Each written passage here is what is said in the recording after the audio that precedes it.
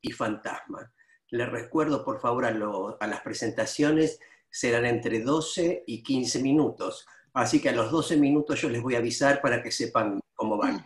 Le doy la palabra entonces, en primer lugar, a Santiago Deus, miembro de la Escuela Freudiana de Buenos Aires. Adelante, Santiago, ¿estás por ahí? Sí, por acá.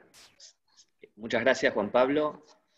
Eh, muchas gracias a la comisión directiva por la organización de la jornada y en particular a Lili Donzi por la invitación. Es un recontra gusto estar acá y es un gusto compartir con mis compañeros de panel. El advenimiento de lo real. Existe una doble vía para pensar la política del síntoma en el campo del psicoanálisis. Primero, el psicoanalista apunta al síntoma en tanto eso habla, residencia de una palabra que precisa ser desplegada, explicitada en un análisis.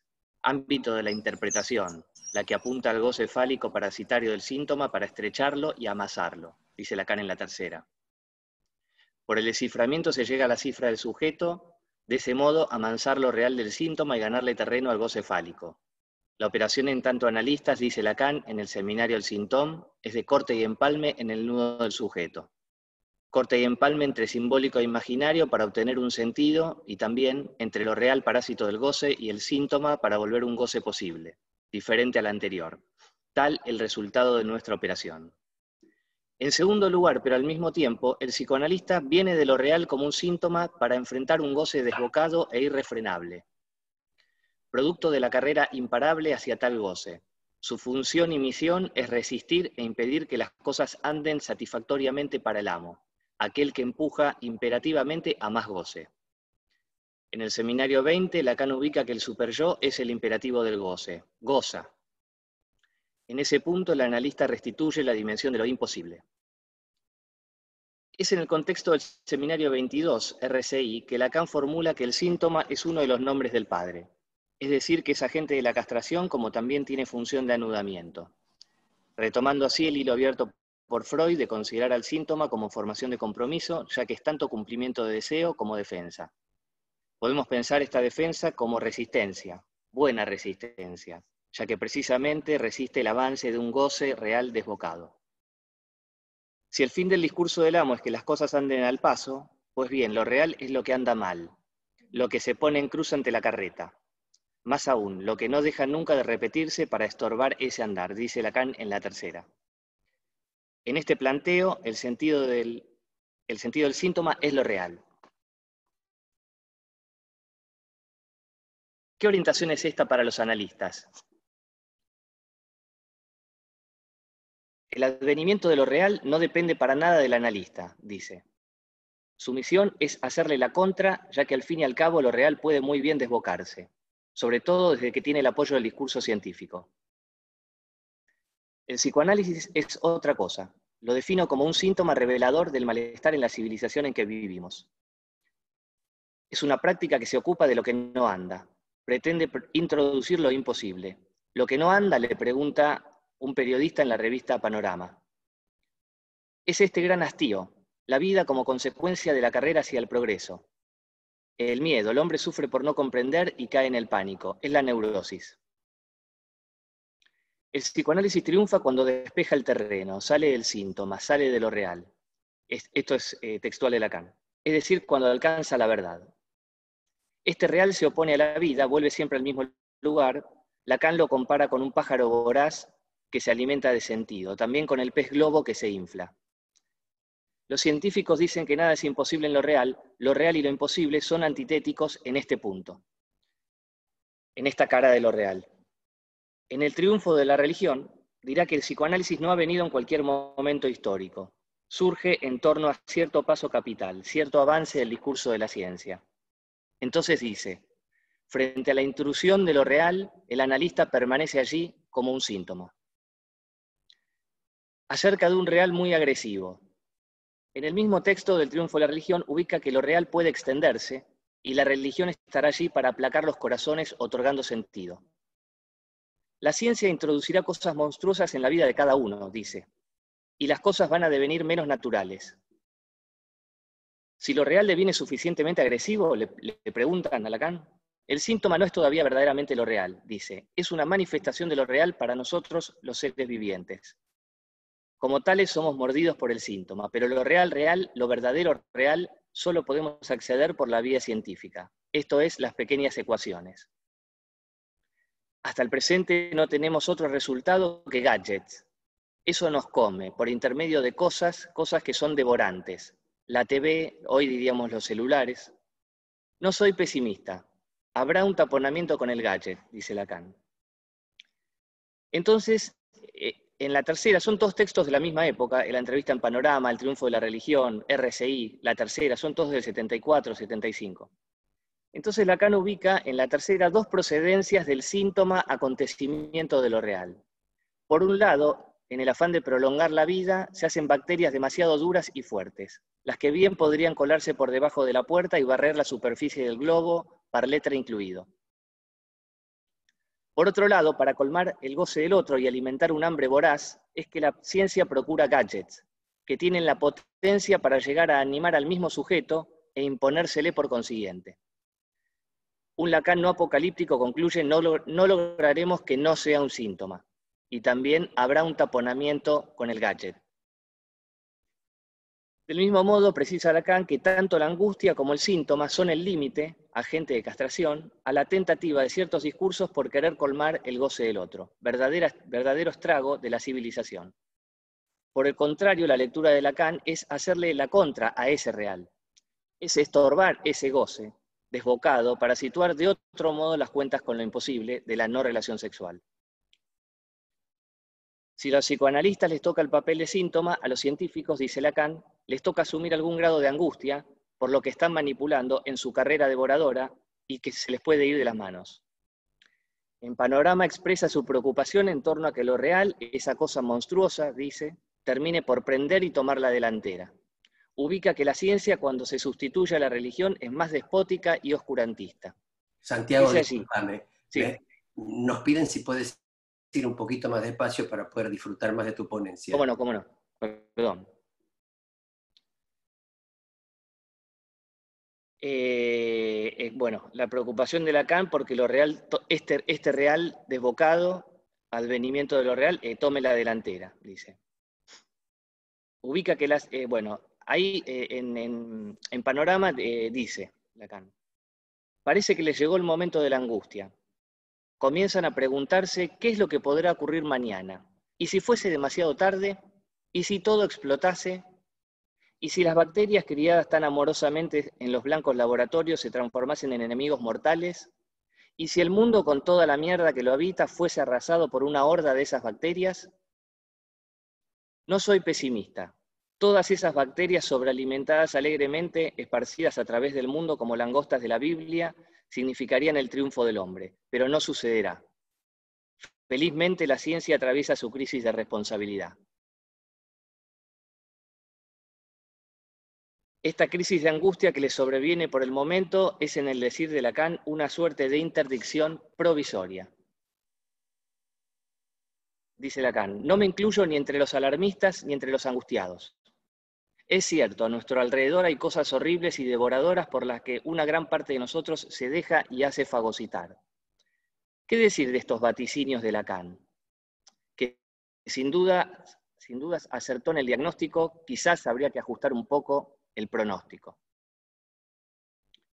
Veamos brevemente el aporte que algunos pensadores contemporáneos que con eje en los efectos de la pandemia del COVID-19 ubican la necesidad de un frenado, resistencia o barrera contra la carrera desenfrenada hacia el supuesto progreso.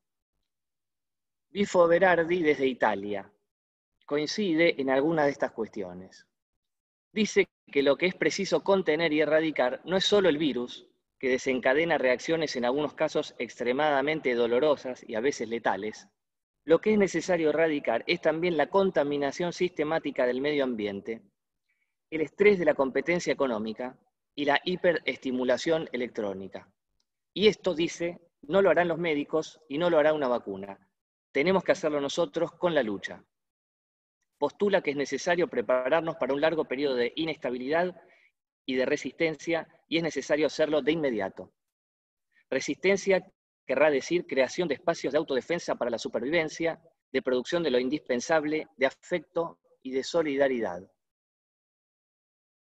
Bruno Latour desde Francia ubica la necesidad de ser, crear interruptores de la globalización, de generar gestos barrera y de una disolución píxel a píxel de la producción desbocada. Es el mismo significante que usa Lacan. Dice que el momento de hacer el inventario anual es ahora, a la petición del sentido común. Reactivemos lo más rápidamente posible la producción. Hay que responder con un grito, ni se nos ocurra. Lo último que debemos hacer es retomar de manera idéntica todo lo que hacíamos antes. Propone que si comenzamos cada uno por nuestra cuenta a plantearnos preguntas sobre todos los aspectos de nuestro sistema de producción, nos convertimos en eficaces interruptores de globalización. Tan eficaces los millones que somos como el famoso coronavirus en esa manera tan suya de globalizar el planeta. Cada uno de nosotros se pone a imaginar gestos barrera no solamente contra el virus, sino sobre todo contra cada elemento de un modo de producción del que no deseamos el retorno. Se trata de poner en cuestión cada una de las conexiones que se decían indispensables y demostrar paso a paso aquello que es deseable y lo que ha dejado de serlo. Ignacio Ramonet desde España postula que la única lucecita de esperanza es que con el planeta en modo pausa, el medio, el medio ambiente ha tenido un respiro. El aire es más transparente, la vegetación más expansiva, la vida animal más libre. Entonces grafica que el ultimátum a la Tierra que nos lanza el coronavirus es también una desesperada alerta final en nuestra suicida ruta hacia el cambio climático. Ojo, próxima parada, colapso. Lo que está realmente en causa es el modelo de producción que lleva decenios saqueando la naturaleza y modificando el clima.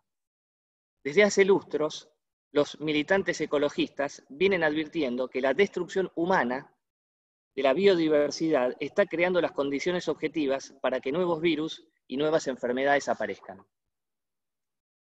¿Qué puede esperarse de un analista? De aquel que hizo el paso analista ya no se espera una mirada, pero se ve de venir una voz proposición del 9 de octubre de Lacan. Su acto, el del analista, es restaurar la dimensión de lo imposible. Allí donde el goce devorador no es otro que el de anhelar que todo es posible, que el de imponer el todo. Este goce se opone a la vida y deja al sujeto en la miseria neurótica de un goce parasitario. 12 minutos, Santiago. Te quedan tres. Bueno, avísame si llego al 15. Tres minutos te quedan. De este modo, dice Lacan, Buscamos distraer el hambre, obturar la falta de relación, nos hacemos devorar por objetos, cosas, gadgets, y a la larga todo queda devorado. Frente a esto, la irrupción del analista se explaya en el ámbito de la no relación sexual. Está en el lugar mismo de la falta. Expresa el no todo como apuesta a una vida cuyo surco litoraliza con lo imposible. Y en la relectura de la letra podrá recrear con el objeto la restauración de la falta es en el ejercicio de una abstinencia que apuntala su acto, promoviendo en ese sentido la apertura de otro goce, el que implica el hábitat, el hábitat mismo de una falta. Hacia el final del texto Función y Campo, de la palabra y del lenguaje en psicoanálisis, Lacan parece ubicar qué puede esperarse de aquel que llega a la terminación de un análisis. Sobre todo, qué puede esperarse de un analista que advenga como tal. Allí dice que el sujeto realiza su soledad en la ambigüedad de su deseo inmediato, en la asunción de su ser para la muerte. Podemos leer allí castración. El sujeto encuentra cómo realizar su satisfacción con la de aquellos con las que se asocia en la realización de una obra humana. Y también articula una ética de no renuncia.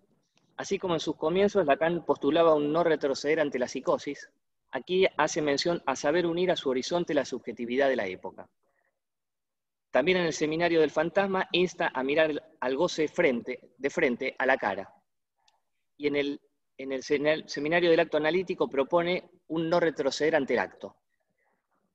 Volviendo a función y campo, aquí se trata de saber unir, de saber interpretar y de no dejarse arrastrar siempre en torno a la época y su subjetividad. Entonces dice que renuncie quien no pueda unir a su horizonte la subjetividad de la época, que conozca bien la espira a la que su época lo arrastra en la obra continuada de Babel y que sepa su función de intérprete en la discordia de los lenguajes. Finalizo con un muy breve ejemplo clínico. Manuel, se trata de un muchacho de unos 30 años, que empecé a atender en cuarentena. Su problema era con las mujeres. Confusión frente a su deseo e impotencia fálica eran sus síntomas. En plena cuarentena conoce una chica que según él reunía todas las cualidades. en cuanto al nivel socioeconómico, cultural y en tanto participaba de la misma comunidad religiosa. Voy por un encuentro, dice. Me alquilan un departamento para pasar el día. Pero estamos en cuarentena, le dije. No pasa nada, todo el mundo lo hace. Estaba tan acelerado que en el encuentro acabó rápido, lo cual lo llenó de inseguridad. A la semana siguiente era un tembladeral. ¿Qué pasa que tarda tanto en contestar mis mensajes? ¿Cuántos días te parece que deje pasar para volver a llamarla? No importa, voy por más llamados, más mensajes. Y además le dije a ella, no dejes pasar la oportunidad que te la perdés. Entonces le dije, si no podés parar un poco este acelere, el que va a perder todo sos vos. Si no paras ahora, después no la podés parar. Se tratará entonces de saber parar y de saber unir en la realización del sujeto con quienes ha decidido asociarse, nada más. Gracias, Santiago, muchas gracias. Damos lugar a la palabra a Mónica Morales, miembro de la Escuela Prohibida de Buenos Aires. Mónica, ¿estás por allí? Estoy acá, no sé si me, oye, si me oyen. Perfecto, no está tu imagen, pero sí se, te escucha. Ah, ¿no está mi imagen? No, no se te ve. Pero estoy acá. Tenés apagada. Tenés la cámara tachada, Mónica. Liberá la cámara. El teclado. Es que no me la, la cámara no me anda la cámara de la computadora. Pero yo te vi, Mónica, yo te vi en algún panel, ¿eh? Yo te vi. Era otra. No, no eras vos. Te escuchamos muy bien. Bueno, me escuchan. Empecé a hablar, este, la cámara. Quiero empezar a hablar igual. Adelante. Eh, la llegada de un acontecimiento inesperado, bueno, agradezco a la comisión directiva, en particular a Juan Pablo, esta invitación y este coloquio en este momento. Eh, la llegada de un acontecimiento inesperado quiebra el paisaje cotidiano y produce una suspensión de la realidad socialmente instituida y en el mejor de los casos, la creación de otra realidad precaria rodeada de incertidumbre. Me refiero a un real que rompe las coordenadas simbólicas e imaginarias que sostienen a los seres parlantes en la escena del mundo se trata de lo traumático y encuentra diversos modos de respuesta. Los planes que teníamos, ese menos fi, señuelos engañosos que nos mueven hacia adelante, deben esperar o caer. Detrás de ellos, el objeto A del deseo que sostiene el fantasma. Habitamos este tiempo aparentemente detenido, extraño, rodeados de objetos que ahora se hacen inútiles, y nos hacen repensar en el valor de las cosas, en nuestro habitual consumo y en el destino del capitalismo actual. Un tiempo penoso, alejado de los cuerpos de otros seres queridos y para algunos en extrema soledad. A veces nos acomodamos a este nuevo paisaje, el ser humano es capaz de soportar cualquier cosa, no siempre, claro. El fantasma se conmueve, por eso, de tanto en tanto, la angustia nos da alguna certeza. A veces la angustia, o peor. Por eso, cuando la habitualidad del paisaje se quiebra, el síntoma acude a dar alguna orientación a la angustia. Y comienza a acecharnos la condición perecedera de la vida. La muerte es para todos, como se propone en el silogismo aristotélico uno de los pocos universales posibles que Lacan planteaba, reunámonos en esa igualdad entre todos comunicable o hablemos en conjunto, como lo decía en radiofonía. La muerte es para todos y en ese todos estamos incluidos los analistas. Es importante aún así no olvidar la singularidad del uno por uno y las diferentes respuestas de un sujeto ante la repentina aparición de la castración del otro. El análisis va del fantasma al trauma. En esta ocasión el sujeto se ha encontrado con un real que irá en el camino contrario, encontrarle algún sentido. A veces confabulatorio, pero en relación al fantasma de cada sujeto quiero decir, con la singularidad de cada uno.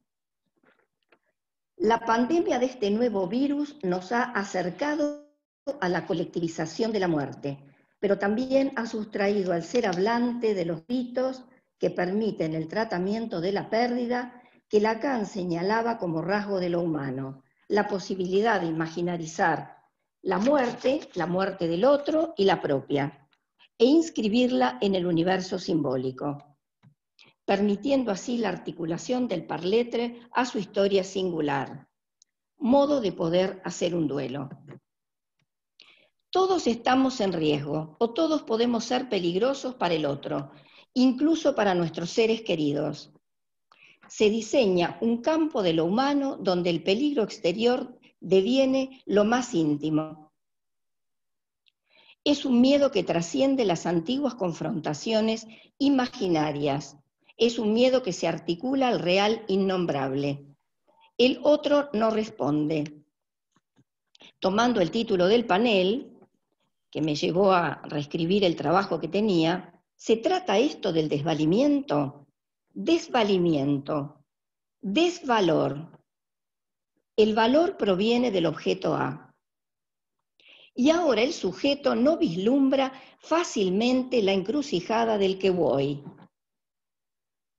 que permite encontrar una respuesta y situarse como el objeto que se es para el otro en el fantasma. Desvalimiento excepto para algunos. Hay al menos uno que se supone inmune al virus y a la muerte. Ahora bien, ¿cómo pensar este tiempo que parece un continuum bajo las coordenadas de la lógica? Bueno, como se darán cuenta, yo también me fui al tiempo lógico, ya que para nosotros psicoanalistas el tiempo no es una mera sucesión cronológica. Lacan en el tiempo lógico pone el acento en la discontinuidad tonal o en una sucesión real, pudiendo cada momento haber tenido lugar o no, reabsorberse o no en el siguiente. Recuerdo haber leído en algún, algún periódico de Europa y conversado con unas amigas psicoanalistas que viven allá y comentado luego que en ese caso ellos sintieron que no hubo tiempo, los dejó anonadados la llegada del virus. Claro, ¿cómo podría ser si no lo traumático? Podría decir, podría aventurar, habiendo escuchado otras, otras aventuras anteriores, que no hubo instante de ver. Frente a lo real hay una extrañeza tal que el instante de la mirada podía quedar abolido. No se ve venir nada. Además, el virus es invisible a los ojos. Podría decir que fue como cuando durante el nazismo había quien decía, no pasa nada. Es el estupor, pero también la negación. No hay ni siquiera eso que Lacan llama subjetivización como, intento de orientación. El tiempo de comprender vendría entonces haciendo aparecer lo que va a cristalizar en, hipótesis diversas y variadas, sentidos diversos, confabulatorios muchas veces, como decía antes, el tiempo para comprender permite reinterpretar el, instante de la mirada que falta, una mirada a precup en anamorfosis que reenvía la figura del pan de Dalí a los pies de los embajadores, me refiero al cuadro de Holbein, que al regular la posición del sujeto, se nos aparece la calavera de la muerte, la nada que somos. Puede aquí entonces aparecer el verdadero desconocimiento del problema, la borradura del sujeto, en qué lo toca, en qué lo concierne, en qué lo divide. Tiempo para comprender lleno de teorías que se hace muy largo para la época. Tal vez da cuenta de la dificultad de tomar en serio algunas consignas, decían estas analistas, ¿no? Hablo en especial por eso de países donde el virus llegó antes, el impacto fue de entrada mayor y la, decisión de la cuarentena se tomó más tarde. Luego, en sentido lógico, no cronológico, siempre hablamos, vendría el momento de concluir. si viniera, Concluir implica pasar a una lógica asertiva. Lacan utiliza formulaciones coloquiales para que no haya un retraso que engendre el error. Para indicar lo que del tiempo para comprender permite que el afecto de angustia que acompaña este pasaje lleva una aserción que permite pasar de lo colectivo a lo singular. El sujeto, el y, sale de esta aserción. Es entonces el momento de concluir. El acerto hace entrar al y en el juego como efecto de su acto y no como simple obediencia de vida. Ahí el sujeto se recorta de lo que podía haber sido una masa. Se trata de lo colectivo. El acto de la palabra ha hecho emerger un ser hablante ahí donde estaba sujetado, condición para que no aparezca la autogestión o el dominio del yo o el de la identificación al uno tirano, una nueva masa en ese caso. En el caso de la pandemia que nos toma a todos, podría dar lugar a la condición de solidaridad entre los unos y los otros. El psicoanálisis nos toma uno por uno en la singularidad y así lo es también en el lazo colectivo, distinto de la masa, distinto de la clasificación universal o de la generalidad que contiene un número indefinido de individuos. Además de la solidaridad, hay pasiones que amenazan el lazo social, lo colectivo. Me refiero a las que Lacan llama pasiones del yo amor, odio e ignorancia, que suelen armar fenómenos de masa, donde prevalecen los yoes, la yocracia. Hablo del odio que prescinde de lo especular y del amor, el odio de Creonte con el que se enfrenta Antígona en su lucha por dar digna sepultura a sus hermanos. Por eso se trata de un odio que está más allá de la imagen, que no apunta al otro como semejante, y no se conforma con su muerte, sino que busca aniquilar sus marcas, sus emblemas.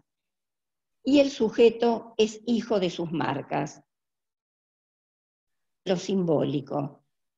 Así lo llamaba Legofé en el lazo especular. Hablo del intento de borrar toda marca de ese sujeto, toda marca de ese cuerpo. Y por qué no, hacer de cuenta que eso no ocurrió, como pasó en el nazismo o entre nosotros con los desaparecidos.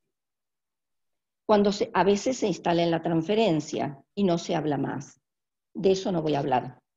Este odio rompe el lazo social y produce una fractura en lo colectivo, pudiendo disfrazarse de reparador de la justicia, pero termina constituyendo una injusticia aún superior, a veces en nombre de la pureza de una idea de las instituciones, de un dogma, raza o religión.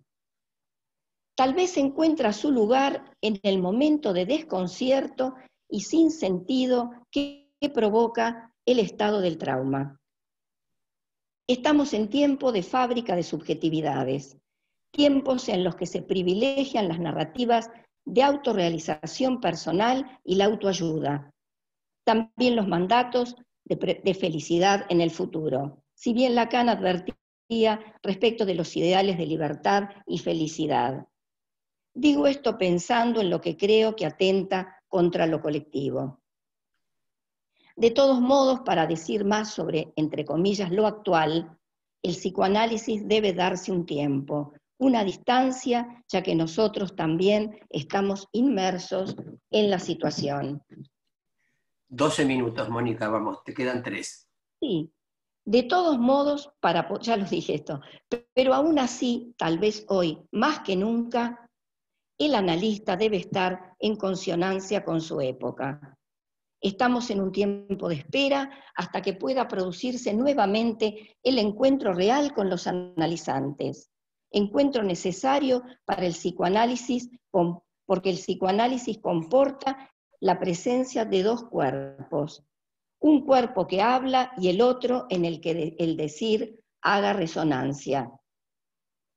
La voz y la mirada se asoman desde la distancia, a los espacios públicos, a los patios y balcones de los vecinos, a las redes sociales, y algunas visitas furtivas de tanto en tanto. Vivifican el deseo y hacen posible un nuevo lazo colectivo. Gracias. Muchas gracias, Mónica. Eh, le doy la palabra entonces a Cristina Ochoa, miembro de la Escuela Freudiana de Buenos Aires. Cristina, ¿estás dispuesta?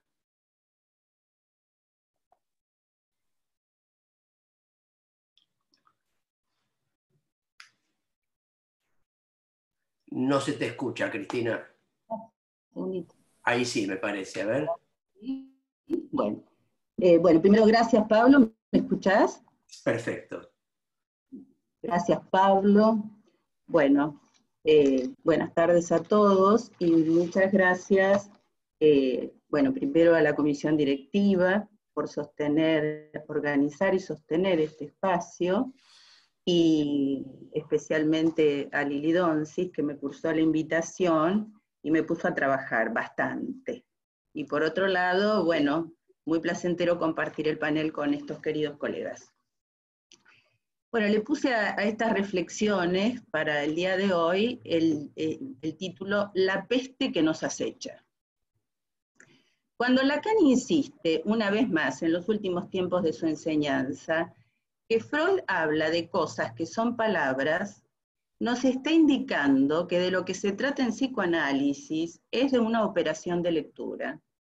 Es necesario sobrepasar el costado índice del significante porque algo está Urberdran, y en eso Lacan es freudiano, hay agujero en lo simbólico. Se trata de un inconsciente irreductible, irreductible a la posibilidad de acceder a la palabra, irreductible al campo de lo representacional. Ubicamos ahí un para todos al cual es imposible darle sentido. No creemos aventurado entender por esta vía el hecho de que el maestro haya puesto a la vida misma en el lugar de eso irreductible. Benjamín hoy hizo un desarrollo muy interesante al respecto, se, detuvo en ese tema. Lo podríamos traducir como el desamparo de la vida, como un carozo de incerteza que destina a la orfandad. No hay saber en el campo del otro que responda sobre la existencia. Con eso habrá que arreglárselas, cada uno como pueda. Entre sujeto barrado y A no hay relación, eso es un incurable. Sin embargo, cada uno hace consistir en el lugar de eso alguna relación entre fantasmas. Porque hay incompletud en el campo del otro, hay forclusión del sentido. No obstante, ofertarse como objeto se convierte en una estrategia privilegiada para hacerlo consistir, al otro y al sentido. Recordemos a Lacan refiriéndose a los discursos cuando señala que siempre existe cierta banalidad de lo que se avala con el fantasma. Se intenta convertir en trivial, yo acentuaría como común, algo que no lo es. Sería muy aventurado poner en serie estas afirmaciones y cuando dice que cuando hablamos de la muerte lo que hacemos es filosofía, ¿Se referirá a esto cuando aclara que es preciso que cada uno se sienta concernido por la amenaza? ¿Será una exhortación a no hacer solo filosofía con la muerte? De lo real de la muerte nada puede decirse. Sin embargo, algo de eso se hace presente en la irrupción de amenaza catastrófica señalada como peligro desde algunas nominaciones privilegiadas cáncer, pandemia.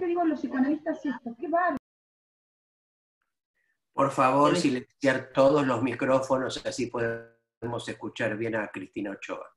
Entonces, decía que hay algunas nominaciones privilegiadas, ¿no? Que funcionan como eh, la posibilidad de irrupción de lo catastrófico. Señalaba entonces eh, cáncer, pandemia, quimioterapia, respirador, terapia intensiva, hay palabras que conmueven.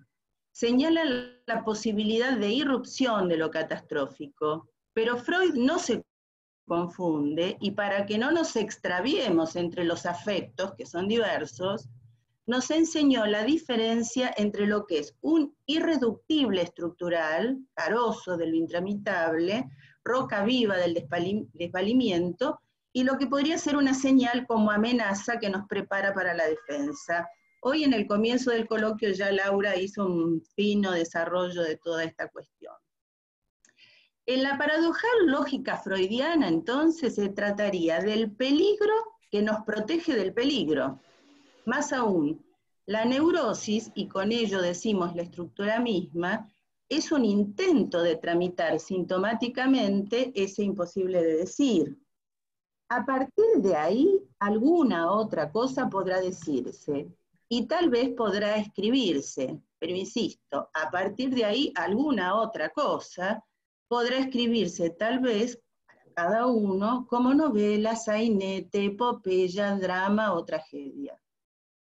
Tomada por esta contingencia epocal, la pandemia, me propuse para esta ocasión dirigirme hacia una versión posible, la que nos ofrece Albert Camus en su novela La peste.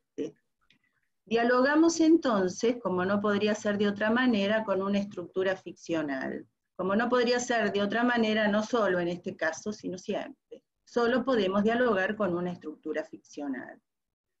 A modo de prefacio, Camus cita a Daniel Defoe, recortando del diario del año de la, de la peste el siguiente párrafo dice, tan razonable como representar una prisión de cielo por otra diferente, es representar algo que existe realmente por algo que no existe.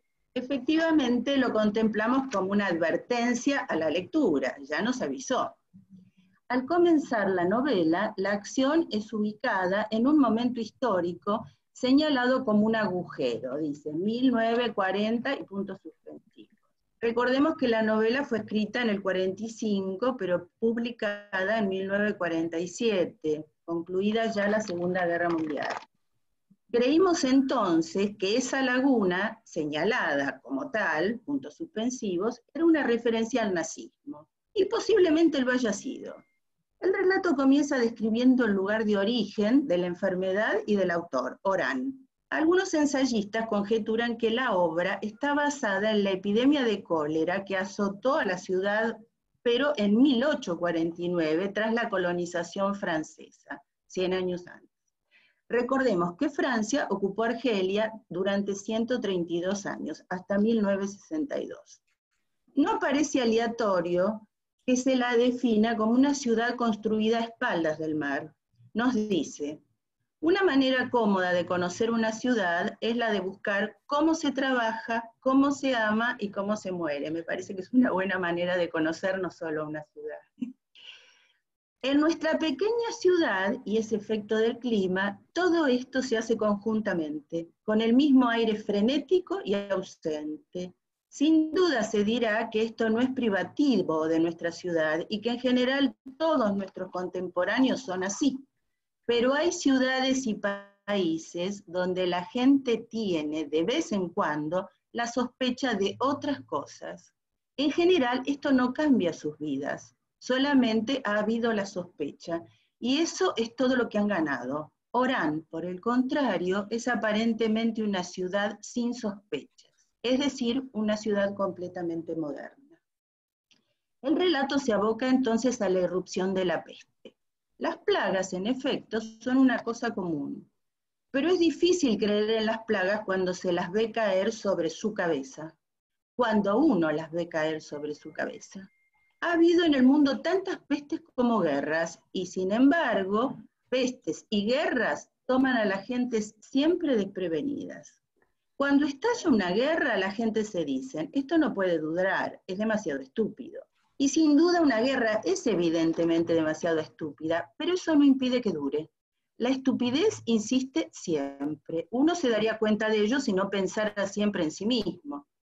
Nuestros conciudadanos, a este respecto, eran como todo el mundo, pensaban en ellos mismos. Dicho de otro modo, eran humanidad, no creían en las plagas. La plaga no está hecha a la medida del hombre, por lo tanto, el hombre se dice que la plaga es irreal. Es un mal sueño que tiene que pasar, pero no siempre pasa, y de mal sueño en mal sueño son los hombres los que pasan, y los humanistas en primer lugar, porque no han tomado precauciones. ¿Cómo hubieran podido pensar en la peste que suprime el porvenir, los desplazamientos y las discusiones? Se creían libres y nadie será libre mientras haya plagas. Nuestros conciudadanos ahora se daban cuenta, no habían pensado nunca, que nuestra ciudad pudiera ser un lugar particularmente indicado para que las ratas saliesen a morir al sol y para que los porteros perecieran de enfermedades extrañas. Desde ese punto de vista, en suma, estaban en un error y sus ideas exigían ser revisadas. Si todo hubiera quedado en eso, las costumbres habrían seguido prevaleciendo, pero otros entre nuestros conciudadanos, y ya no eran precisamente porteros ni pobres, tuvieron que seguir la ruta que había abierto Michel, el portero. Fue a partir de ese momento cuando el miedo y con él la reflexión empezaron. Aclaro que yo armo como un texto lo que en realidad voy recortando como frases a lo largo de toda la novela. Lo que parece inconcebible es que estamos también todos nosotros como todo el mundo. Digo, lo que hace agujero en el sentido, el fuera de sentido, tiene un valor amenazador. El valor amenazador es el de atacar las convicciones de lo supuesto y lo previsto. Ahí se abre una línea para pensar la resistencia a darle cabida a lo que atenta contra el status quo, ahí podemos señalar una confluencia entre lo que es la constitución del sujeto mismo y la estructuración de la sociedad y la historia. Vayamos a los efectos relatados a partir de que la peste fue nombrada como tal. Un sentimiento tan individual como el de la separación de un ser querido se convirtió de pronto en el sufrimiento de todo un pueblo, como un vacío, como el sufrimiento de todos los prisioneros y de todos los exiliados. Era el exilio en su casa. Parecía constituirse algo común, digo yo. Pero entonces se daban cuenta de que él y su interlocutor hablaban cada uno cosas distintas. Estaban malhumorados o irritados. La primera reacción fue, por ejemplo, criticar la organización. Se nos muestra un comerciante que se murió acaparando productos alimenticios donde algunos veían Cristina, perdone, le silencié el micrófono. Cristina, ¿me escucha? Disculpe, le silencié el micrófono porque alguien abrió el micrófono y lo quise silenciar y se paró sobre usted. Por favor, abra de nuevo su micrófono.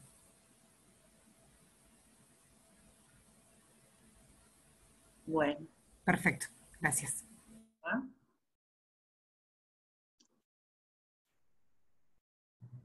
Se, silenció a partir de la primera reacción, digo, bueno, aparecieron las diferencias, ¿no? Cada uno hablaba de lo suyo. Estaban los malhumorados, la primera reacción fue, por ejemplo, criticar la organización, se muestra un comerciante que se murió acaparando productos alimenticios, donde algunos veían abstracción, otros veían la realidad. Muchos no se sentían obligados a nada. Otros decían, no estamos ya en el momento en que con consejos, con una mano fraternal, hubiera podido empujarlos hacia el bien. Hoy, la verdad, es una orden. Las escenas se suceden transmitiendo algo de la pérdida de lo amado, el desencuentro irremediable con los otros, el límite de lo decible que señala lo indecible, eso extranjero que nos habita, aquel olor de muerte que embrutecía a los que no mataba, una vez más, la peste, dice, se esmeraba en despistar todas las estrategias dirigidas hacia ella, apareciendo allí donde no se la esperaba y desapareciendo donde se la creía fincada. Y la historia va a transcurrir. Perdóname, Cristina, te quedan dos minutitos. Cada día pasado acercaba a cada hombre, siempre que no muriese, al fin de sus sufrimientos. Y la peste, como llegó, se fue. Oyendo los gritos de alegría que subían de la ciudad, Rie, el médico, tenía presente que esta alegría está siempre amenazada. pues él sabía que esta muchedumbre dichosa ignoraba lo que se puede leer en los libros, que el vacilo de la peste no muere ni desaparece jamás, que puede permanecer durante decenios dormido en los muebles, en la ropa, que espera pacientemente en las alcobas, en las bodegas, en las maletas, los pañuelos y los papeles, y que puede llegar un día en que la peste, para desgracia y enseñanza de los hombres, despierte a sus ratas y las mande a morir en una ciudad dichosa. Si Camus nos advirtió desde el inicio que se enuncia una cosa para decir otra, es en el final donde nos golpea, más allá de la anécdota, con eso que es un incurable, y que acecha más allá de las contingencias desplegadas. Se pregunta, ¿qué quiere decir la peste? Se responde, es la vida y nada más. ¿No es allí, en eso que irrumpe, que nos está diciendo una verdad? No lo digo solamente en los términos Foucaultianos como para hacer un análisis lingüístico, epistemológico, sociológico, histórico o literario de las diversas dimensiones de verdad que podrían estar en juego a leer para nosotros psicoanalistas, más que nada, no es su posición en la vida, su postura de la vida, esa vida que no tiene otro sentido más que la que adquiere por ponerla en, en juego y jugarla con esos otros con los que no tiene casi nada y tanto que ver. El psicoanálisis no es literatura, el referente para el psicoanálisis es la falta de representación. Sin embargo, no es exclusivo de nuestra praxis que haya efectos de transmisión incalculables. La responsabilidad subjetiva podría pensarse, entonces creo, en el posicionamiento singular respecto de lo que es una cuestión de estructura, lo incurable. No es el mismo padecer sintomáticamente lo que apesta que ponerse del lado del carcelero. Lo voy a leer mejor. No es lo mismo padecer sintomáticamente lo que apesta que ponerse del lado del carcelero. Recordemos que Freud llama a eso reaccionario y no nos parece aleatorio considerar de este modo al saber mismo. Creo que por eso estamos reunidos aquí hoy interrogándonos. Bueno, Gracias. Bueno, y por último le vamos a dar la palabra a Silvia Weinstein. Silvia Weinstein, ¿estás por allí? ¿Estás con el micrófono? Juan Pablo, acá estoy. Perfecto, se te escucha muy bien. Me encantó lo de por último, porque además me tocó ser la última. en general en las mesas me toca ser la última por el apellido, pero esta vez... Los primeros. Así como es el, eh, digamos, estoy como en el momento del cierre del coloquio. Bueno, eh, agradezco mucho a la comisión directiva que me hizo cursar la invitación a través de Silvia Tomás y les digo, a partir del momento que recibí la invitación, se me ocurrió un título para mi texto que lo nombro Un exilio de la escena cotidiana. Eh, lleva un epígrafe de Juan Gelman, una escritura desde el margen, que dice así, nacemos y nos cortan el cordón umbilical, nos destierran y nadie nos corta la memoria. Una pandemia, distintas cuarentenas nos sitúan en este 2020 en el peor de los castigos, el exilio forzoso de las escenas de nuestra vida cotidiana. Los griegos hostigaban a los rebeldes con el llamado castigo ejemplar, el destierro eterno como pena capital, una clase de muerte en vida. Tiempos en los que retorna la indefensión originaria que leemos en el célebre ensayo que Freud nos legara, Endburf, proyecto de una psicología para neurólogos escrito en los albores de su obra, pero publicado varios años después de su muerte, en 1950, por quien fue su otrora paciente, luego su colega y finalmente la que rescató al maestro de la Viena nazi, la princesa Marie Bonaparte, y lo llevó a un exilio. Lacan formula, entre otros modos, el desamparo de la indefensión eh, freudiana, el vacío, al vacío que nos deja la inexistencia del otro, ese al que recurre el neurótico cuando su fantasma no funciona en relación al deseo, sino al reclamo desesperado por una respuesta que satisfaga su desamparo fundante. Cada vez que estamos de duelo por alguna pérdida, nos aproximamos a un abismo que hoy se manifiesta por la falta de contacto de los cuerpos, tales como los abrazos, los besos, las caricias de los cuerpos eh, con los no convivientes. La indefensión originaria retorna de manera diversa según lo singular de cada sujeto. A la magnitud de la incertidumbre, cuando no hay fecha de vencimiento al desamparo, se le agrega el plus de la espera.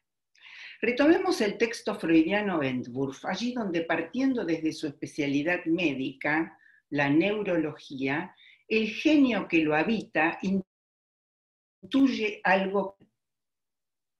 La relación de la experiencia de satisfacción con el complejo del semejante, que sin su auxilio ningún retoño humano lograría sobrevivir. Freud articula la primera experiencia de satisfacción con la memoria neuronal, pero su valor prevalente es que es mítica, siempre y cuando haya acudido el otro auxiliador que lee en el llanto, en el grito, un texto que interpreta, huella que inscribe en el futuro sujeto la ineludible relación con el otro y con los otros. El objeto de la necesidad es aquel que se pierde por estar subsumido en la demanda, a la demanda, anticipando la función del deseo.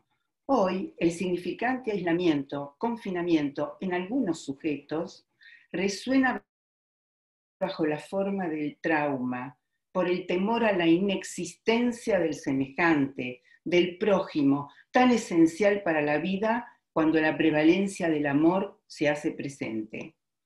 Nos dice Freud en el texto citado, el proyecto, el estado de urgencia desencadena el grito. Varios colegas han aludido a la cuestión del grito, que si no acude el otro con su respuesta, cae en un vacío sin retorno de una muerte segura. Del grito al lenguaje se precipita un pasaje que requiere de los tiempos que anudan al sujeto a la vida que no es sin la muerte. El aislamiento no es una opción propiciatoria. Y sin embargo, ¿Qué respuesta ofrece el psicoanálisis a los fines de su despliegue en las condiciones actuales? Gracias hoy, gracias a los dispositivos virtuales con los que contamos, podemos afirmar que no estamos aislados, siempre y cuando el deseo de conectarnos tenga lugar para manifestarse. Estamos frente a presencias continuas que enrarecen el lazo social con el otro.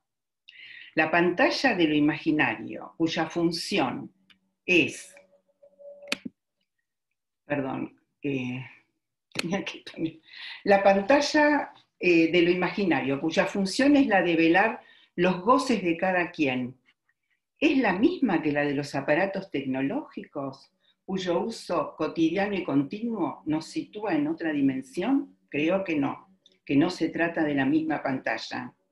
La dimensión espacial va de la figura del otro en la pantalla plana al cuerpo del sujeto que viene hacia nosotros, analistas, cuando llama a nuestra puerta y acude con su demanda.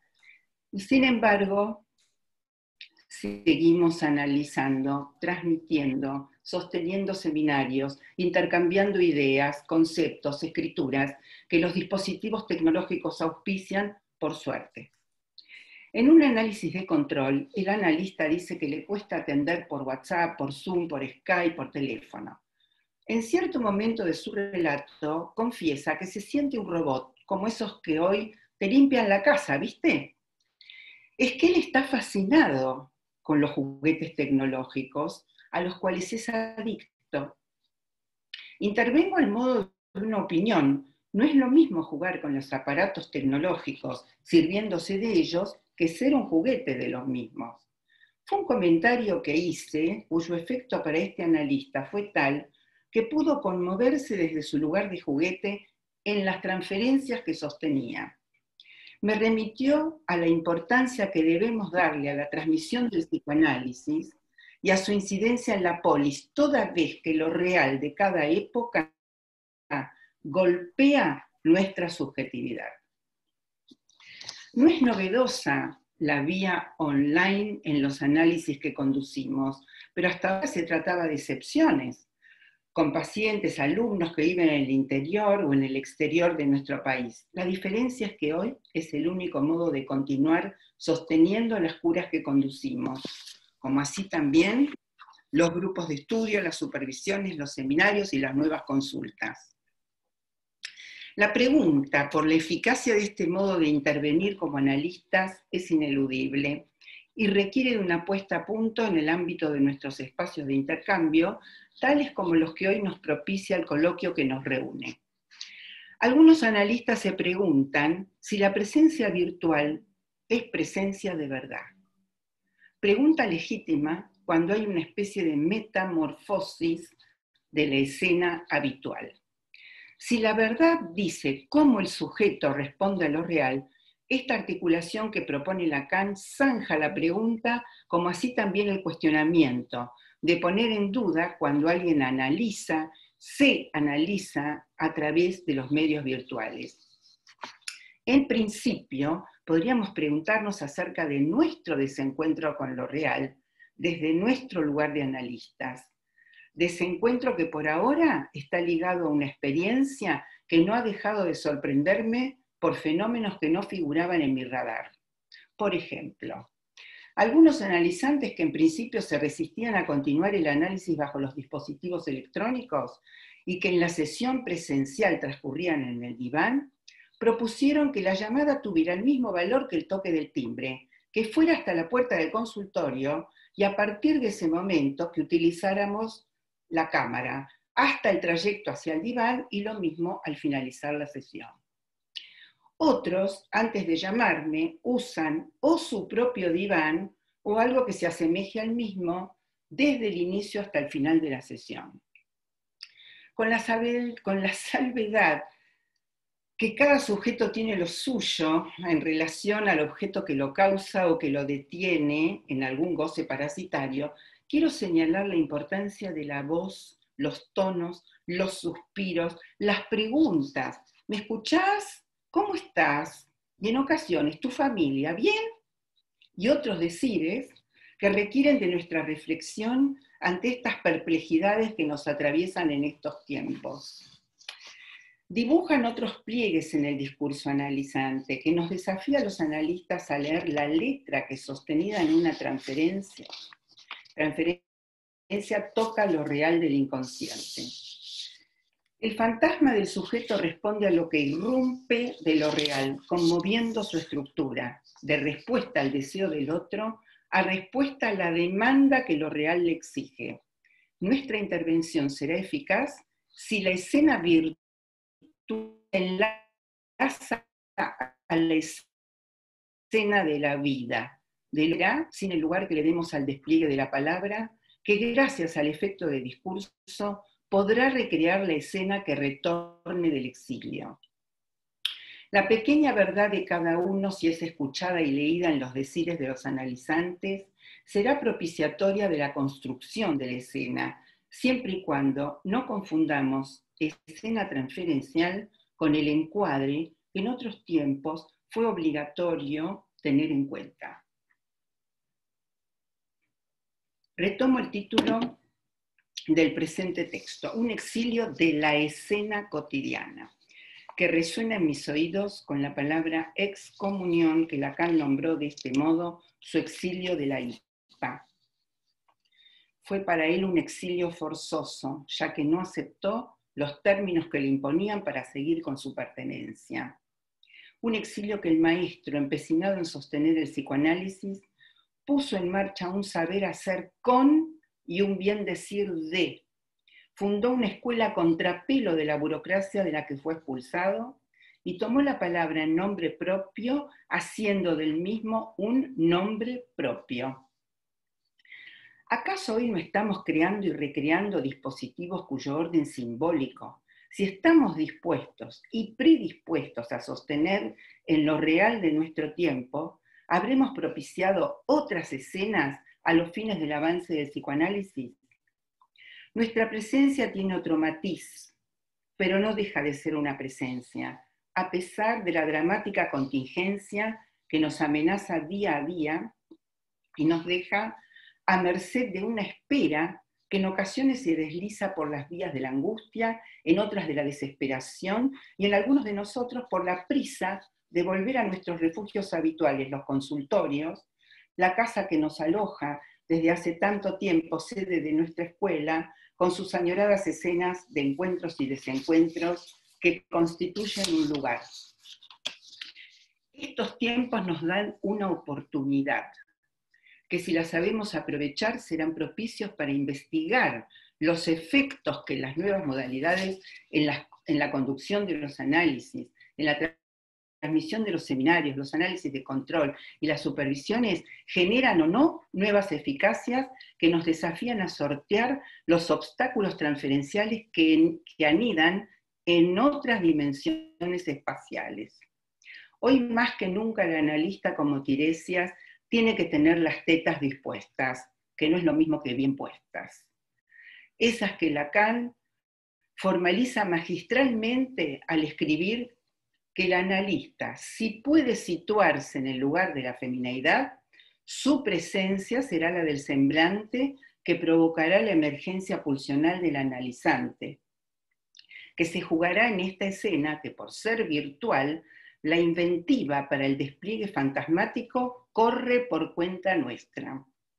Para ello, tengamos en cuenta que la escena es del sujeto, cuando el deseo del analista la propicia y cuando puede desprenderse de la obediencia a los mandatos del superyo en cuanto a cuál es el mejor espacio para consolidar su presencia. Y para concluir, una película el vendedor de tabaco de Nikolaus Leitner, basada en la novela de Robert Sittaler, nos sitúa en la Viena de 1937, poco antes que Freud emprendiera su exilio desde su amada Viena a Londres. Franz, un joven de 17 años que viaja a Viena para convertirse en aprendiz en una tabacalera, tiene la oportunidad de conocer a Sigmund Freud quien era un cliente asiduo a adquirir sus célebres habanos. Se establece entre ellos una relación muy peculiar cuando el joven le consulta por problemas de amores y que se los y perdón, por problemas de amores en el espacio del local, del local de la venta de los habanos. Freud le indica que escriba sus sueños y que se los muestre estableciendo así una transferencia analítica insólita por no seguir ninguna de las reglas habituales, pero sí las fundamentales. En este caso, la escritura de los sueños de un joven que, sufría de mal de amores y al que Freud, al sugerirle que por la vía de los sueños podría llegar a encontrar alguna respuesta, su palabra y su presencia como analista construyen un espacio transferencial magistral que le otorga un marco a la escena del sujeto, digno de un maestro como fue Freud. Transmitir la idea de la verdad como aquella que tiene estructura de ficción, tal como la define Lacan, basándose en el texto de Bentham, Theory of Fictions, es una respuesta posible al aforismo que el escritor T.S. Eliot enuncia. El ser humano no puede soportar demasiada realidad. Muchas gracias. Bueno, muchas gracias Silvia. Vamos a hacer este lugar a los comentarios y preguntas tengo anotado en primer lugar a Mónica Marciano, que si querés, Mónica, leo yo o le querés leer vos tu comentario a Mónica Morales. ¿Estás ahí, Mónica? Marciano. Estoy, estoy, estoy. Lo que pasa es que estaba muteada. Yo, yo le bueno, primero que todo agradezco los trabajos, me gustaron mucho todos. a Mónica Morales quería pedirle si puede extenderse un poco más sobre este subrayado que ella hizo, eh, la diferencia que hay entre el lazo colectivo y la masa, ¿no? Eh, y cómo en realidad son las pasiones del yo las que hacen masa, las que amenazan permanentemente al lazo colectivo a través, por ejemplo, del odio, la segregación, etcétera, etcétera. Me pareció muy interesante ese subrayado, por ahí Moni puede agregar algo más. Me encantó el trabajo. Bueno, Martín Trigo. Bueno, ¿cómo están? Eh, muy buenos los trabajos, muchas gracias. Eh, yo quería eh, me dejó pensando un poco el cierre del trabajo y la, cita que trajo Santi. Le quería preguntar, este, realizar su obra junto a otros, me pareció que era un, un trabajo que al sujeto le proponía el análisis. También en esa misma línea me evocaba algunos de los comentarios de paneles anteriores respecto del semejante, porque ante lo real eh, se ubicaba este, ante esa falta radical en el otro, se ubicaba la posibilidad de la búsqueda o de la alienación a un padre. Y también este, en relación a eso me pareció que el semejante cumple una función, por ejemplo, cuando en la adolescencia, ¿no es cierto? El reencuentro con la castración en el otro y eh, con lo real, interior, como decía Enrique, este, propone una salida exogámica, entre otros, que se tramita en el semejante. Y ahí se construyen códigos, se construyen legalidades, se construyen algunos ideales que no necesariamente conducen al padre, ya obran a cuenta del sujeto, porque hay algo de ese fantasma que se consolida allí. Entonces quería volver sobre este, entre otros, quería preguntarle a Moni también la cuestión del lazo social, en tanto el semejante soporta un significante con el que el sujeto se relaciona. No solamente está en juego en su presencia imaginaria, está en juego también en su presencia simbólica. Así que hay veces que en estos tiempos, y sobre todo con lo que trajo Silvia Weinstein también, me parece que es eh, para resaltar, el lazo, digamos, el entre otros, puede, aunque hay una pérdida desde ya, puede vehicular, vehicular, vehiculizarse este, a través de lo simbólico, a través de la palabra, a través de esa escena que aunque escasa, permite el lazo. Sobre la cuestión del lazo quería preguntarle entonces a Moni si puede decir algo más y a Santi en relación a aquello con lo que el sujeto cuenta, que si bien creo que coincide con Cristina en que hay que llevar el sujeto al síntoma, también dice que el entre otros es uno de los fines que persigue el análisis. Eso quería comentar. Gracias, Juan. No es nada, gracias, vamos, Martín.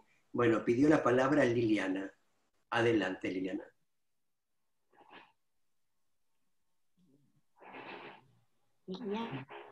Liliana, ¿estás por ahí? Supongo, tengo varias Lilianas. ¿Quién había, de las Lilianas, quién había pedido la palabra? Abre el micrófono y tiene la palabra. Liliana.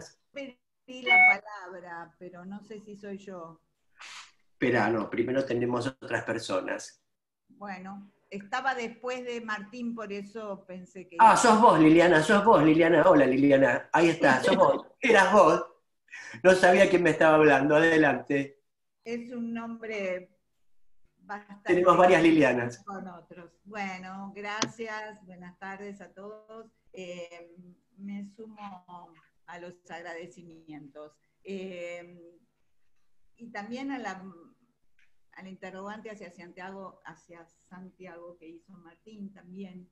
Quería preguntarte, Santiago, acerca de lo que decís en relación al fin de análisis eh, respecto de la subjetividad en soledad y en relación a los otros, este, que me pareció muy interesante. Eh, y una cuestión más, pensaba en esto que decía Silvia en relación a que no estamos aislados, ¿no? Que esto no se trata de aislamiento porque el lazo social se sostiene de un modo particular, ¿no? Eh, trabajamos a través de, bueno, de forma remota, ya sea por Zoom, por teléfono, videollamadas, etcétera. Lo cual me hace, y que la presencia del analista, bueno, no desaparece, desaparece por ahí el contacto con los cuerpos, pero, y eso tiene sus efectos. En ese sentido, acuerdo con Mónica eh, cuando dice, bueno, el psicoanálisis tiene que darse tiempo para poder decir acerca de esto, ¿no? Estamos todavía muy involucrados. Pero pensaba que no está prohibido eh, trabajar en forma presencial. Estamos autorizados a hacerlo. Sin embargo, tengo la impresión, por lo menos por mi parte, no lo hago, y tengo la impresión de que muchos de nosotros seguimos trabajando en forma remota. Entonces esto me hizo pensar lo que traía tan interesante Cristina acerca, en esa ficción que nos regala, acerca de que eh, cuando hay plaga no hay libertad. Gracias. Gracias, Liliana. Este, una pregunta, comentario más, le damos la palabra a la mesa y volvemos con las últimas dos personas que tengo registradas que han pedido la palabra. María del Carmen Meroni, por favor. Sí, gracias. Mi pregunta para Mónica Morales prácticamente coincide con eh, una combinación de las preguntas de Mónica Marciano y de Martín Trigo, de modo que no la voy a formular para no ocupar tiempo, dada la coincidencia temática. Eh, una cuestión sobre el, el, tema que desarrolló Silvia Weinstein, el asunto del peor de los castigos, del destierro, del abismo, etc. A mí me tocó en un análisis de control eh, asistir, eh, escuchar el enorme cansancio y cansancio que manifestaba un analista tratando de descifrar qué cosa de sí mismo llevaba a que tenga tan enorme cansancio. Y la verdad que se pudo despejar de una manera bastante rápida esa cuestión un poco atormentadora que lo aquejaba, dado que eh, por, por el hecho de que el cansancio estaba siendo tratado por este analista como una especie de evento extraño que no debería ocurrirle, es decir, por negar lo inhabitual del acontecimiento, estaba más perturbado que lo que podría estar si aceptaba que el acontecimiento era inhabitual y era perturbador. Eso mismo ya producía cierto alivio. Una pregunta sería la siguiente. ¿No hay fecha de vencimiento al fin de este desamparo? ¿No hay fecha de vencimiento para este desamparo? Más o menos relativa, ¿no? Porque los laboratorios trabajando con toda aceleración en una vacuna están desde hace meses. Pero, digamos, ¿no hay fecha de vencimiento al término de este desamparo? ¿Es que no hay fin para el desamparo? ¿O es que la aparición de una instancia del desamparo como la cual nos recuerda una cosa que estábamos olvidando, y es que el desamparo siempre puede existir para el parletre, y ahora tenemos una ocasión de recordarlo. Una cosa es que no haya fin para el desamparo y otra cosa es que se nos acaba de recordar algo está presente siempre. Quiero decir, eso también puede aportar un alivio frente a alguna sensación más atormentadora que debería ser. Gracias. Bueno, si les parece bien, eh, la mesa está dispuesta a hacer algunos comentarios y responder algunas preguntas y continuamos con tres eh, miembros más que han hecho su, pedido de, de, comentario. Adelante a la mesa, por favor. Bueno, eh, eh, Santi. bueno, dale. Em, Santiago. Este, bueno, eh, nada, intenté ubicar, gracias por los comentarios, Martín, Lili. Este, intenté ubicar un poco cómo esto del desamparo, me parece que hay que articularlo con, con, la, con cierta, cierto empuje al goce, cierta voluntad de goce de nuestra época. Que si estamos en un recrudecimiento de los desamparos me parece que tiene que ver con algo de eso y es lo que creo que hay que leer. Eh, la ideología no me parece mala palabra, pero creo que la política es lo que nos orienta, por eso intenté articular esta cuestión de la política del síntoma, tanto por el lado de dar la palabra como por el lado de lo que dice Lacan en la tercera, de, este, eh, que el analista o el síntoma, este, el psicoanálisis es un síntoma, viene de lo real para impedir un goce, sobre todo en tanto este goce sea arrasador para el sujeto. Em, y sí, intenté hacer un pliegue con esto de función y campo, de un texto de 20 años antes, donde Lacan ubica eh, en relación a la terminación del análisis, habla de la realización en dos, en dos planos, la realización de la soledad, y ahí ubica esto del ser para la muerte, yo decía que lo podemos leer con la realización de la castración, lo que ubica Lacan en el seminario del acto, como del orden del el acto analítico en torno a que el, analizante haga la experiencia de la realización de la castración en el análisis, pero que no solamente es la realización de la soledad, sino también esa otra realización que implica eh, la terminación del análisis, que es la satisfacción, eh, interesante el término, ¿no? La satisfacción, porque si hablamos del goce y de impedir un goce, también se trata de restituir otro, uno propiciatorio para el sujeto. ¿Y cuál es la indicación de Lacan? Y la satisfacción este, con otros, con aquellos con los que se asocia. Juan Martín trae el semejante, Alba hablaba más temprano del, prójimo, la lectura de Isidoro, este, muy fina ahí para ubicar esa dimensión.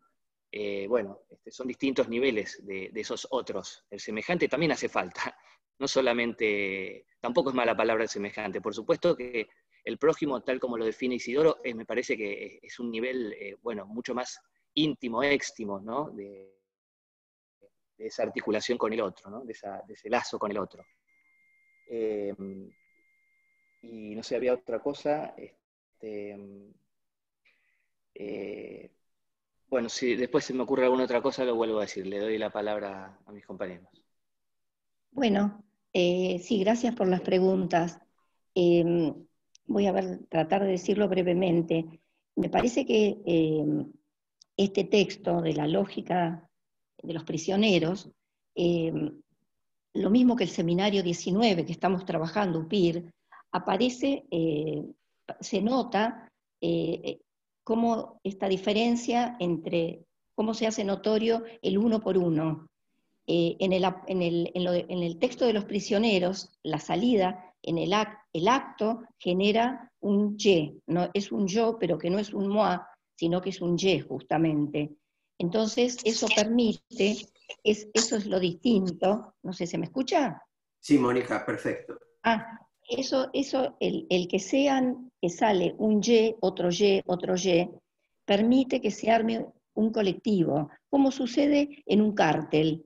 ¿no? Por ahí nos, entre comillas, agrupamos para estudiar algo y terminamos siendo uno por uno. Ese es el efecto, ese es el efecto de lo colectivo, distinto de la masa, donde se juntan yoes, eh, eh, probablemente con una muchas veces consigna imaginaria, y muchas veces eh, alentados por, un, por otro, digamos, por un, acá dice un tirano en el texto, por un jefe que em, comanda la situación, por eso en el texto pone la salida ni que no sea ni la autogestión, que sería eh, varios yoes, ni el que uno de esos que sale se convierta en el, en, el, patrón de la masa, digamos.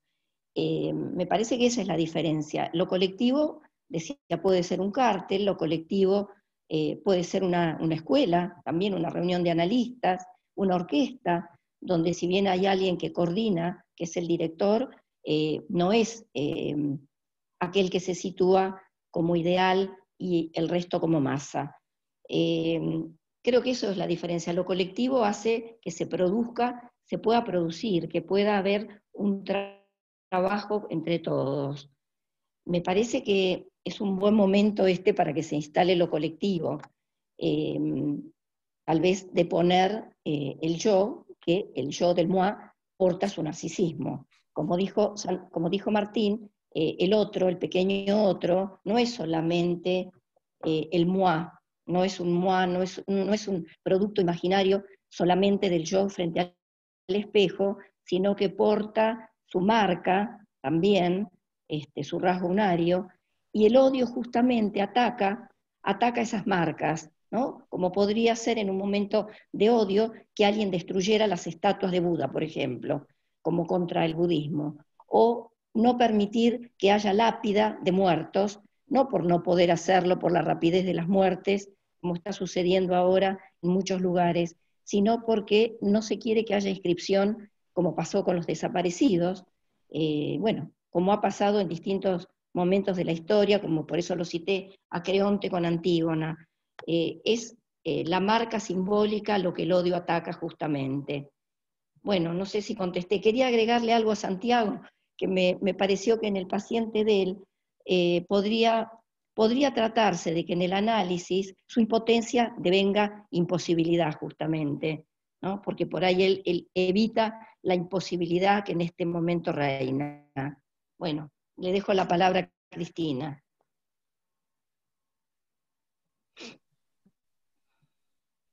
Yo no, ¿se escuchan? No, no, escuché una pregunta dirigida especialmente a lo que yo trabajé, no, no la pude escuchar, no sé si me la quieren concretizar, pero puedo aportar alguna cosa. Eh, me parece que algo que me quedó pendiente por ahí de, todo el trabajo que hicimos durante todo el día, ¿no? A mí me hace ruido la lógica binaria que siempre me parece que se lleva muy mal con el psicoanálisis. Y, en ese sentido, ahí hay algo, cuando pensamos la lógica de, lo singular del psicoanálisis y la cuestión del universal y el particular, etcétera, que me hace un poco de ruido, y voy a decir por qué el psicoanálisis no plantea una estructura que sea como un sistema cerrado. Entonces, la lógica del universal y del particular para mí se da de patadas con la lógica del psicoanálisis, porque el psicoanálisis parte de una estructura donde el todo no es un todo cerrado y hay efectivamente un para todos como universal, por ejemplo, la castración. Entonces, hay un para todos que sin embargo no nos colectiviza. Habrá una traducción en singular para cada uno, y me parece que ese es el tema, un tema del nodular, por ahí de las cosas que me interesaba plantear. Hay algo que es un para todos, ¿sí? Y ese universal para todos no nos colectiviza, no tiene que ver con la posibilidad de hacer de eso eh, de, hacer nada del orden de la, de la partición. Diría más, yo creo que hay una singularidad que es universalizable para el psicoanálisis. Em, todos somos sujetos de castración, por ejemplo, que cada uno lo dirá a su modo. Entonces, a mí me parece que eh, hay algo de, la lógica binaria que me parece que es una complicación. Esto de la masa también me pasa algo de ese orden. Eh, una cosa es que Freud plantee el efecto masa que puede ocurrir ahí donde hay lazo con el otro, y entonces me parece que ahí habría que complejizar todo lo que tiene que ver con el lugar del otro, el lazo, la identificación, los discursos.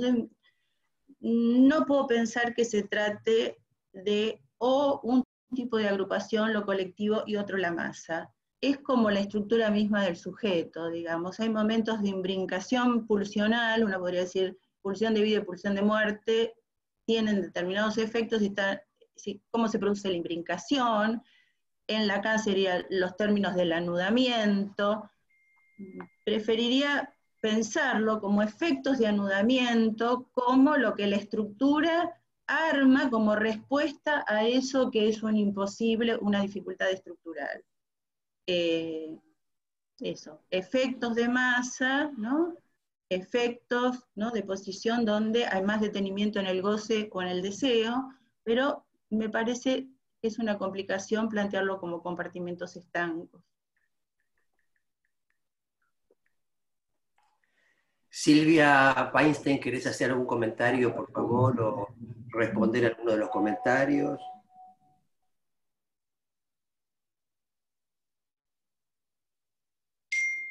No se te escucha, Silvia. Eh, ponete el micrófono. Digo, la que me hizo una pregunta directa fue María del Carmen Meroni. cuando dices eh, cómo es esto de que no hay fecha de vencimiento al desamparo.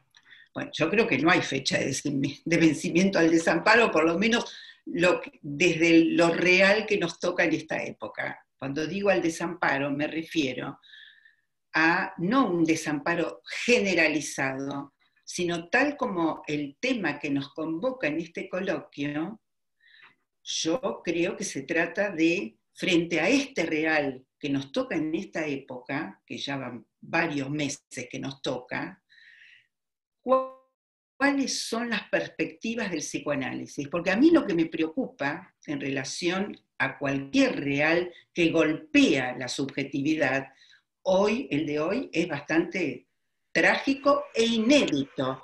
Creo que nadie, ni siquiera de la generación más este, vieja, por decirlo de alguna manera, pasó por una situación así. Tal vez la época, por lo menos yo cuando era chica, la polio, pero bueno, la defensa que teníamos por lo menos a mí me ponían un alcanfor acá en el pecho, qué sé yo, pero tampoco este, estaba, no, tenía la magnitud que tiene ahora por cómo eh, inciden los medios de comunicación, la difusión, la globalización de la información, etcétera, etcétera a ese... Ahora, eso no quiere decir que para cada sujeto, porque nosotros trabajamos con el caso por caso y la singularidad, no lo vamos a repetir tantas veces, no haya una fecha de vencimiento al desamparo, sino tampoco podríamos pensar en el fin del análisis. Entonces, estoy hablando de un desamparo que tiene que ver con que no hay hasta ahora ninguna respuesta en ningún lugar a cuándo va a terminar esto. A eso me refería, Carmen, eh, eh, a eso. Eh, no sé qué querés decir con ese gesto, pero bueno, no importa. agradezco a los, comentarios que hicieron, después he leído un poco también este, las cosas que, han escrito y a mis colegas de la mesa, donde las ponencias fueron sumamente interesantes y en general de todo el coloquio. quiero recordar algo hablando de los cambios de escena cotidiana. Este coloquio viene en el lugar de las jornadas que hemos hecho desde siempre, cada dos años, en la Escuela Freudiana de Buenos Aires. No se hicieron por esto que está pasando, que todos sabemos de qué se trata. Y este coloquio viene en su lugar. Con esto quiero decir, eh, eh, eh, ¿estamos eh, preparados, preparados? ¿Estamos capacitados desde el punto de vista de a soportar este tipo de cambios? El de hoy es maravilloso porque es muy propiciatorio para que cada uno tome la palabra desde su manera de leer y de, leer el psicoanálisis, de conducir los análisis y de llevarlos hasta su fin. Pero son eh, cambios que eh, yo apuesto, apuesto, y eso quise transmitir en el trabajo, no sé si lo pudieron escuchar, que em, nos hagan pensar cómo podemos nosotros como analistas, pensando en el análisis hoy y en el porvenir del psicoanálisis, incidir en lo real de cada época, teniendo en cuenta cómo cada época incide en nuestras vidas. Pero a mí lo que me importa es la incidencia del psicoanálisis en la cultura. Eso es lo que a mí me, a mí me importa eso y me importó siempre y trato todo el tiempo de pensarlo. Bueno, en este trabajo, en este texto, se me ocurrió tomarlo por ahí tener en cuenta cuál es el lugar que lo llamo exilio, porque es un exilio de nuestras escenas cotidianas. No las voy a nombrar, cada uno sabe la que tiene y cómo le toca y, qué es lo que le ocurre, pero es un exilio de nuestras escenas cotidianas. Gracias, Silvia, muchas gracias. Lamentablemente tenemos que aceptar, entre otras cosas, que el tiempo es el otro. Tenemos varias preguntas este, que quedaron por hacer. La mesa ha causado muchos interrogantes, así que les pedimos en nombre de todos, porque no podemos estirar el tiempo, eh, disculpas Adriana Baguaba, Alejandra Ruiz, Marta Garber, José Suberman y, los demás este, miembros y participantes que han acercado y ofrecido nuestras preguntas. Y en todo caso dejamos abierto el canal de Facebook para que este, traigan sus comentarios y preguntas. Así que este, este de alusión a nuestra actividad de hoy y le vamos a dar la, palabra en principio a Silvia Tomás, quien este, va a estar a cargo de unas palabritas y después les voy a hablar yo. Bueno, gracias Pablo. Eh, eh, quiero, gracias por la mesa anterior, quiero comentar a lo que decía Silvia, Silvia Weinstein, que las jornadas de la escuela van a estar, se van a dar más adelante, ¿eh? a fines de octubre probablemente. No es que el coloquio reemplace a las jornadas. Eh, bueno, a todos las palabras, las reflexiones de los diferentes analistas que hoy nos acompañaron de distintas latitudes, con las ponencias, con sus intervenciones y con la escucha.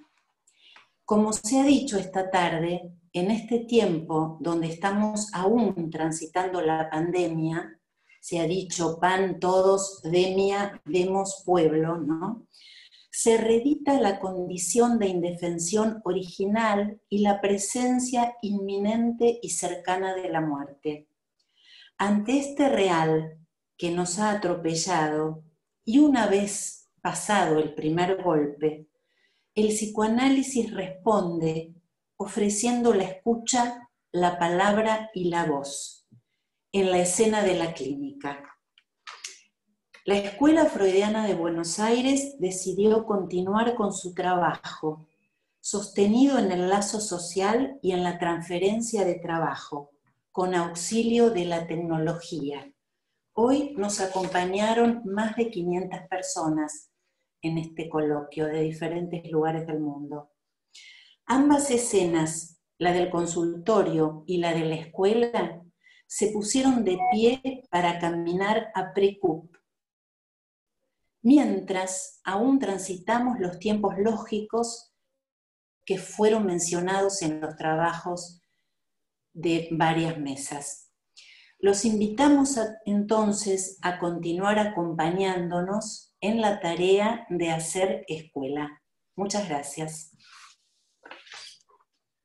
Pablo.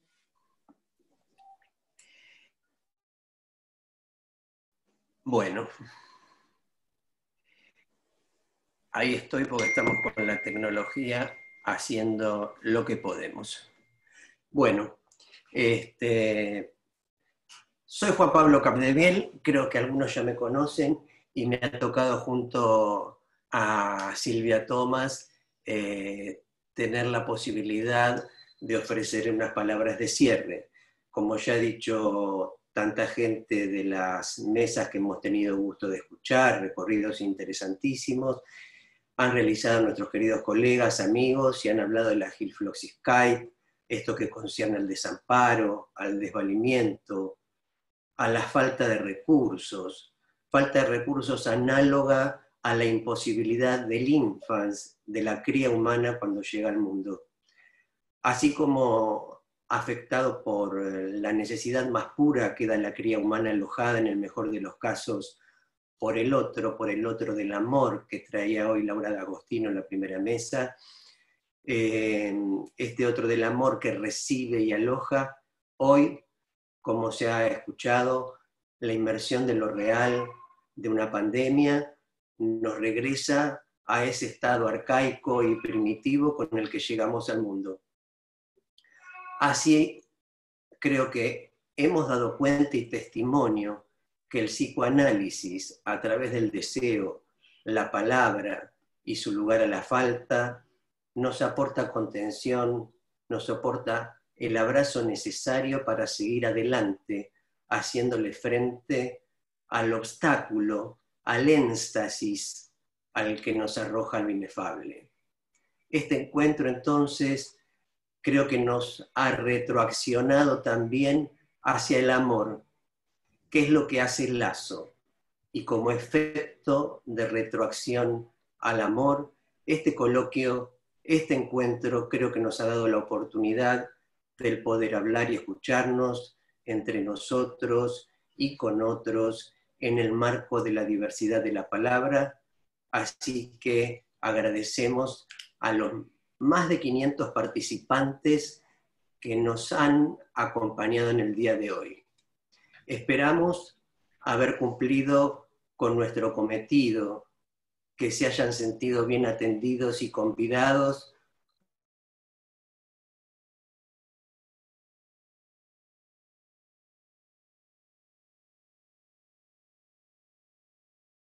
a nuestra propuesta de inicio de ser buenos anfitriones. Lili, si estás por ahí, querrías hacer alguna palabra de, cierre. ¿Estás por ahí, Liliana? Gracias, Pablo. Gracias, Silvia, por cerrar. Gracias a todos. Eh, efectivamente, iba a decir algo del anfitrión, que era nuestro lugar, y lo que quisimos era anfitriones, pero tomo porque me parece eh, exquisito el comentario que hizo Freddy, Alfredo Igel, cuando dijo que no se trata del anfitrión, sino de la hospitalidad. Lo que cada quien, lo que cada miembro de la escuela, lo de que cada expositor planteó hoy fue dar lugar a la hospitalidad de la palabra. Así que con esto cerramos, agradecidísimas a cada uno de los que puso el hombro para que hoy esto la hospitalidad de la escuela sea posible.